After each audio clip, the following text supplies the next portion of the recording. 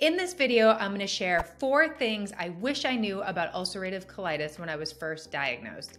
I was first diagnosed 11 years ago, so I feel like I've been through it all. I've had a lot of highs, a lot of lows, and I've learned a ton along the way. So, in this video, I'm gonna share four things I wish I knew in the beginning, or at least close to the beginning, that have really made a difference as far as my health goes, and I really hope they help you.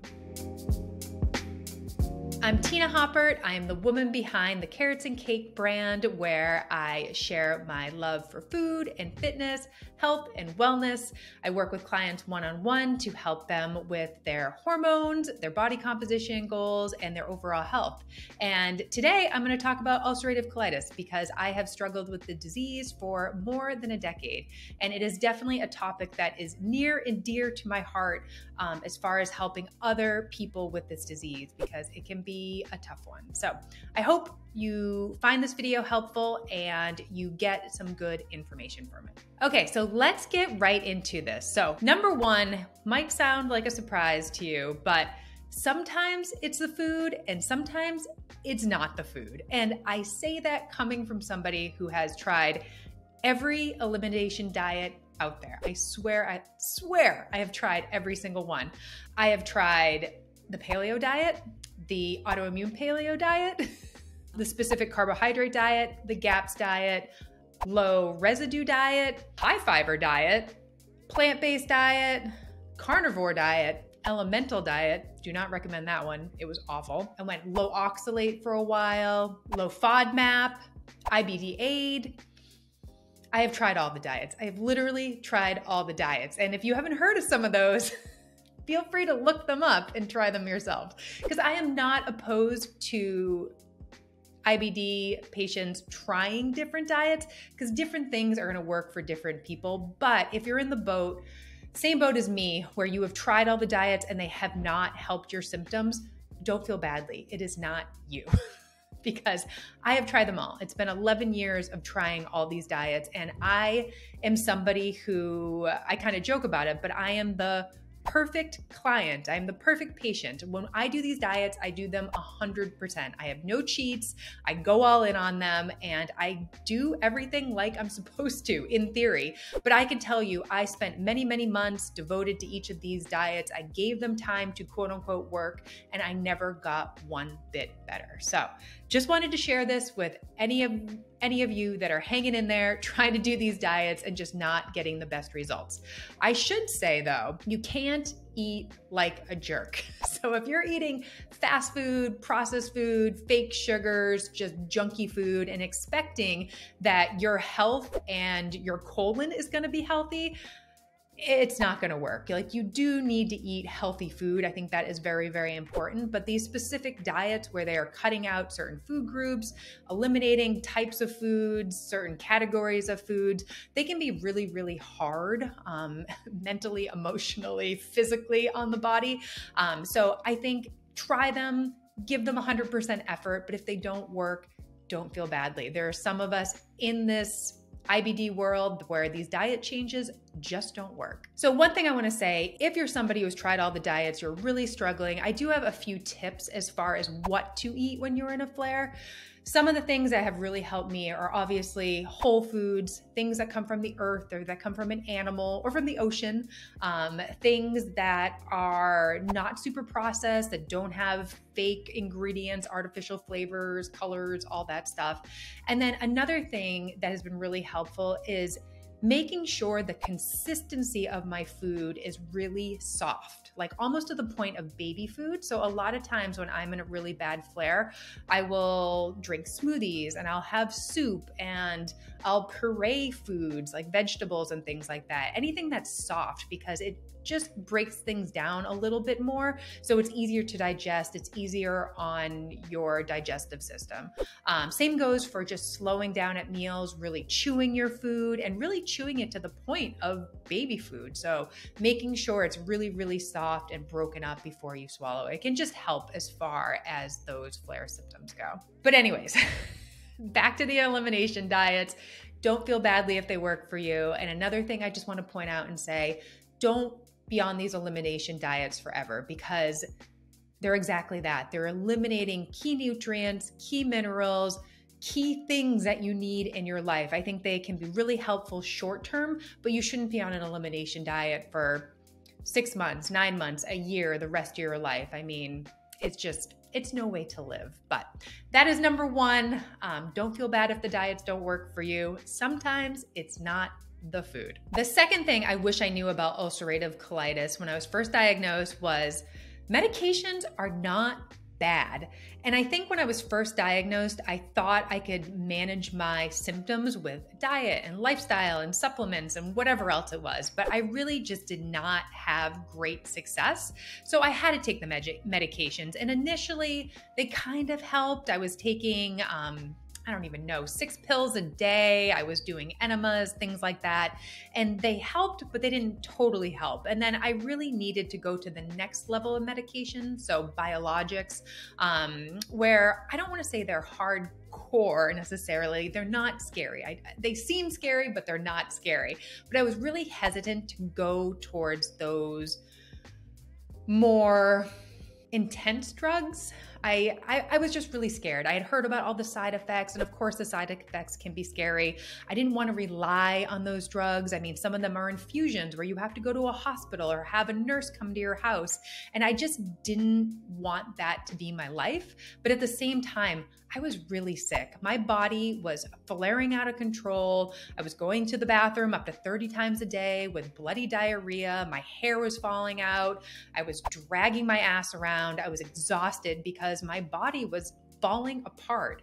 And looking back, I feel like I waited too long. I waited way too long to start biologics. And the thing with UC and IBD in general is you can't let the inflammation get out of control. At the end of the day, those medications, there's a time and a place for them, and they can get you out of that crazy state that your body is in and into remission. So, anybody who is hesitant about taking them, they can change your life. They can give you your life back and they can give you a very, very good quality of life. Um, and that's the thing. I don't think good enough with your health is good enough when you are having really, really bad symptoms that are leaving you housebound or worrying about where the bathroom is or preventing you from doing your favorite things like traveling and exercising and hanging out with your friends. So, all this to say, medications are not bad, and sometimes you need them. Sometimes you need them for your health to get that inflammation under control, and sometimes you need them to get your life back. So, don't be afraid of them. The third thing I wish I knew when I was first diagnosed with ulcerative colitis is that there's an emotional component to it. so, when I was first diagnosed, I feel like I ignored a lot of the symptoms. I mean, even leave, leading up to my diagnosis, I just didn't think the symptoms were that bad and ignored them. And I am very much a type A personality. So when I was having these symptoms, I felt like I was just trying to control what was happening so much. And that control came out in doing diets perfectly, taking the right supplements, supposedly doing all the right things, but really I was making myself more and more crazy and stressing myself out more and holding on to every little thing and expecting results immediately. And over the years, I have learned that you can't hold on to the disease like that. You do have to let go a little bit and you have to be patient. This healing process takes time, change takes time, and really just being kind to yourself. And I think I was really hard on myself in the beginning and not getting the results that I wanted. I blamed myself a lot for this disease, a lot, a lot, a lot. And I would look at all the things that I did in my life and medications I took, you know, things I ate, whatever it was. And there was a lot of blame and shame involved in all of it. And thankfully, I discovered talk therapy and I've been working a lot of this out as far as the blame and the shame, but also, you know, some trauma from my past that I've been working out.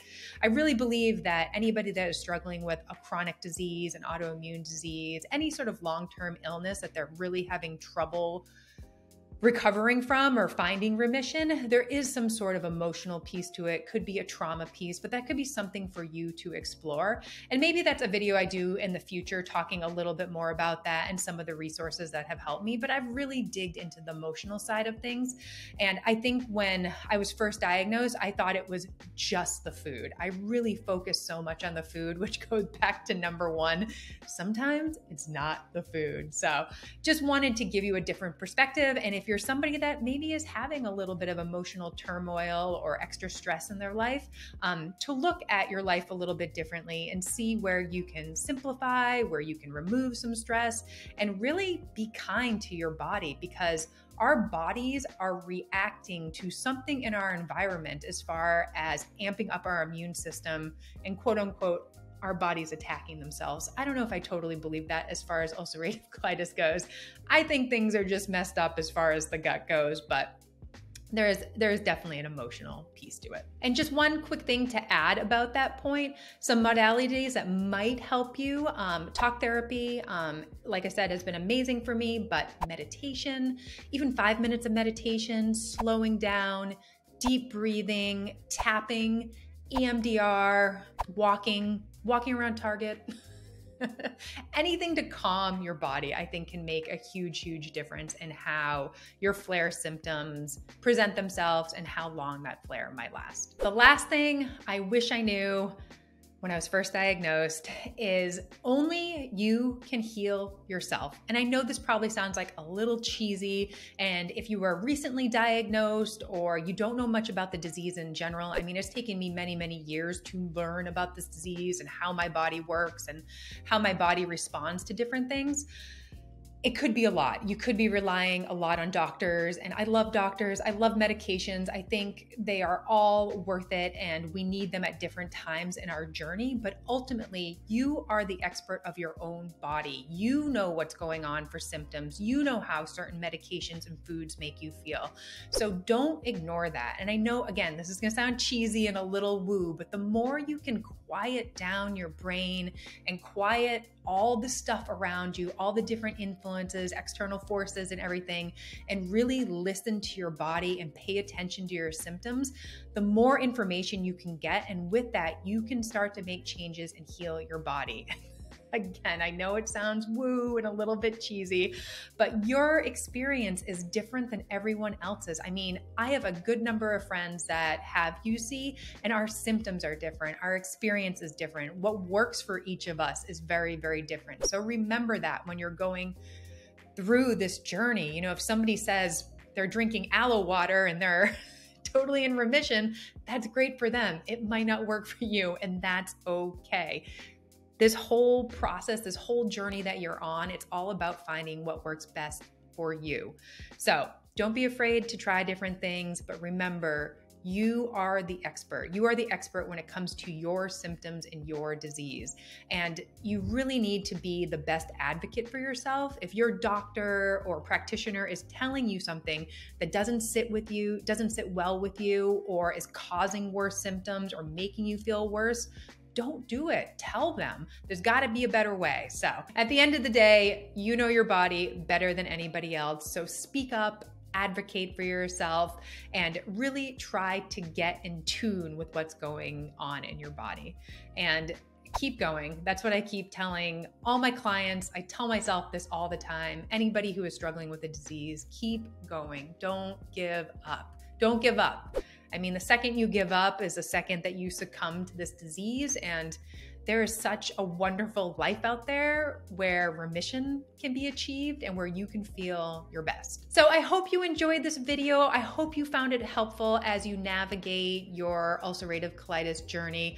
I will absolutely be making more videos about UC and IBD and gut health in general. So definitely keep a lookout for them. In sum, there are a lot of things I wish I knew about ulcerative colitis when I was first diagnosed, but these four are definitely the top things I wish I knew. And I feel like over the years, I've made a lot of mistakes, but I've also learned a lot. And hopefully you found some value in the this video today and you will take a second to like this video and subscribe because I will definitely be putting out more content related to ulcerative colitis and gut health in general. So please stay tuned and thank you for watching today.